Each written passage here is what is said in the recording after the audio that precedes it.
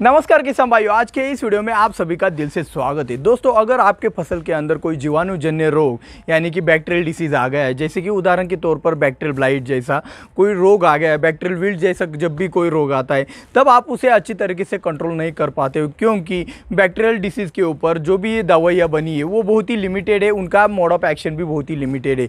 तो आपको जितनी भी बैक्टीरियल डिसीज़ के ऊपर काम करने वाली दवाइयाँ है, उनके ऊपर आपकी पूरी की जानकारी होना बहुत ज़रूरी है। आप बैक्टीरियल डिसीज़ को कंट्रोल करते वक्त तो यही बैक्टीरियल डिसीज़ को अच्छे से कंट्रोल करने के लिए आपका इंडोपिल कंपनी का बैक्टीरिया नाशक जैसे और कंपनियों का भी एक बैक्टीरिया नाशक आता है, जो भी कंटेंट सिमिलर होता है। तो उसके बारे में अल्टरनेटिव के तौर पर आपको ये प्रोडक्ट काम कैसे करता है, ये सभी बातें आपको अच्छे से पता होनी चाहिए। तो आज के इस वीडियो में हम बैक्टीरिया नाशक के कंटेंट से लेकर उसकी कीमत और डोज तक ए टू जेड जानकारी देने वाले तो चलिए शुरुआत करते हैं। तो किसान भाइयों इंडोफिल कंपनी का आता है आपका बैक्टीरिया नाशक, जिसके अंदर आता है two bromo two nitropropane one three diol पचानवे प्रतिशत डब्ल्यू पी फॉर्मुलेशन में। डब्ल्यू पी का मतलब वेटेबल पाउडर होता है और इसी कंटेंट को शॉर्ट में ब्रोनोपॉल भी कहा जाता है। तो किसान भाइयों, अगर आपके एरिया में बैक्टीरिया नाशक इंडोफिल कंपनी का थोड़ा महँगा जाता है या फिर इसके अल्टरनेटिव के तौर पर अगर आपको कुछ दवाई चाहिए, यही कंटेंट वाला तो आप मल्टीप्लेक्स कंपनी का बैक्टीरिया नाशक का इस्तेमाल कर सकते हो। साईराम कंपनी का आप बैक्ट्रिक्स के नाम से इस्तेमाल कर सकते हो। यूपीएल कंपनी का ब्रोनिया के नाम से भी यही कंटेंट आता है। तो आप इनमें से कोई एक अल्टरनेटिव के तौर पर इस्तेमाल कर सकते हो। इसके अलावा भी बहुत सारे प्रोडक्ट यही कंटेंट वाले आते हैं, आप उनका भी इस्तेमाल कर सकते हो। तो किसान भाइयों, अभी हम जान लेते हैं कि बैक्टीरिया नाशक के मोड ऑफ़ एक्शन के बारे में। तो बैक्टीरिया नाशक की मोड ऑफ़ एक्शन सिंपल है ब्रॉड स्पेक्ट्रम वाला एक बैक्टीरियासाइड है। मतलब ब्रॉड स्पेक्ट्रम यानी कि एक साथ कई रोगों के ऊपर काम करने की हक क्षमता रखता है। वो बैक्टीरियासाइड यानी कि आपको पता है बैक्टीरिया यानी कि आपका जीवाणु हो गया साइड यानी कि मारना। तो जीवाणु को मारने वाला बैक्टीरियासाइड होता है। ये सिंपल डेफिनेशन है। इसी के साथ साथ जब आप बैक्टीरियासाइड का या फिर आप इस बैक्टीरिया नाशक का इस्तेमाल करते हो ब्रोनोपॉल का इस्तेमाल करते हो तो उसके छिड़काव के बाद आपको आपके फ़सल में क्लोरोफिल बढ़ता हुआ दिखाई देगा, क्योंकि इसमें फाइटोटॉनिक इफ़ेक्ट भी है। फाइटोटॉनिक इफ़ेक्ट आपको पता है, कुछ दवाइयाँ ऐसी होती जिनके छिड़काव के बाद फ़सल में आपको तंदुरुस्ती भी दिखाई देती है, रोगों को या फिर कीटकों को कंट्रोल करने के साथ साथ। तो ये यहाँ पे आपको बहुत ही अच्छी तरीके से फ़ायदा आपको पहुँच जाता है और इसी के साथ साथ इसमें इम्यूनिटी बूस्टर का भी एक प्रक्रिया होता है।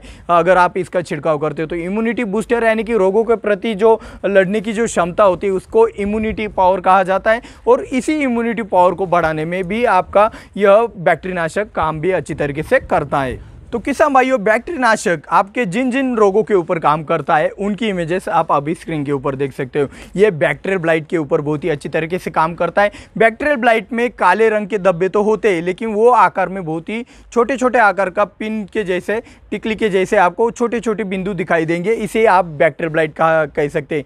आप बैक्टीरियल ब्लाइट और लेड ब्लाइट में फ़र्क नहीं करना जानते होंगे कुछ किसान तो उनके लिए बता दूँ कि भाई लेड ब्लाइट में बड़ा बड़ा आकार का धब्बा दिखता है, जो कि फंगस के कारण आता है। और बैक्टीरियल ब्लाइट बैक्टीरिया के कारण होता है तो बैक्टीरियल ब्लाइट में काले काले रंग के बहुत ही छोटे छोटे आकार के धब्बे आपको पत्तियों के ऊपर दिखाई दे। तो समझ जाना कि भाई ये बैक्टीरियल ब्लाइट है।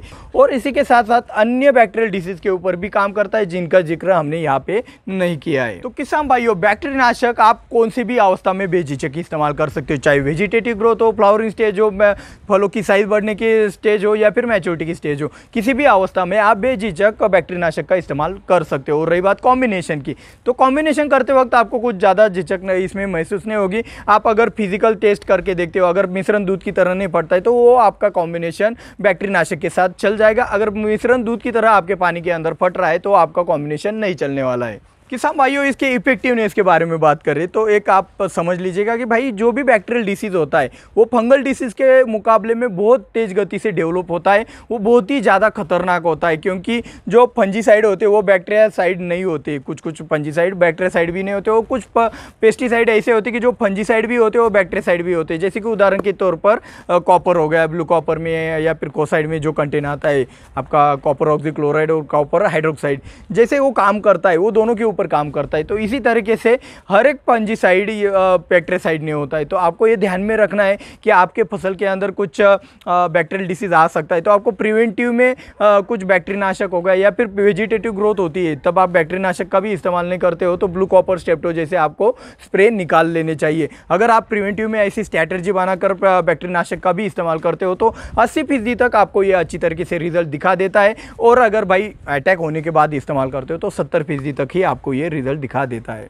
तो किसान भाइयों बैक्टीरिया नाशक का इस्तेमाल जिन जिन फ़सलों के अंदर आपको बैक्टीरियल डिसीज की समस्या आती है जीवाणुजन्य रोग आते उन सभी फ़सलों में आप बैक्टीरिया नाशक का बेझिझक इस्तेमाल कर सकते हो, चाहे वो सब्ज़ी वर्गीय हो या फिर आपकी बागवानी वाली फ़सल हो। आप सभी फ़सलों में बेझिझक इसका इस्तेमाल कर सकते हो। तो किसान भाइयों, इसके डोज के बारे में और ड्रेंचिंग करना है या नहीं करना है, इसके बारे में भी जान लेते हैं। तो बैक्टीरिया नाशक का डोज आप एक एकड़ के लिए सौ ग्राम का इस्तेमाल कर सकते हो या फिर दो सौ लीटर पानी के लिए सौ ग्राम, बीस लीटर पानी के लिए दस ग्राम और पंद्रह लीटर पानी के लिए सात से आठ ग्राम तक का आप इसका इस्तेमाल छिड़काव के लिए कर सकते हो। रही बात ड्रिंचिंग की तो कंपनी ने रिकमेंड नहीं किया इसका ड्रिंचिंग करने के लिए और मेरे हिसाब से जब रिकमेंड नहीं किया है तो इसका इस्तेमाल आप ड्रिंचिंग के लिए जब तक कंपनी नहीं बोलती तब तक आपको नहीं करना चाहिए। और अभी हम बात करते हैं आज के बेस्ट कॉम्बिनेशन के बारे में। तो आज का बेस्ट कॉम्बिनेशन होने वाला है कॉम्बिनेशन ऑफ़ द डे होने वाला है ब्लू कॉपर प्लस बैक्टीरिया नाशक प्लस कॉम्प्यूटर ये कॉम्बिनेशन अगर आप वेजिटेटिव ग्रोथ में एक से दो बार अगर इस्तेमाल करते रहोगे बैक्टीरिया के अल्टरनेटिव के तौर पर आप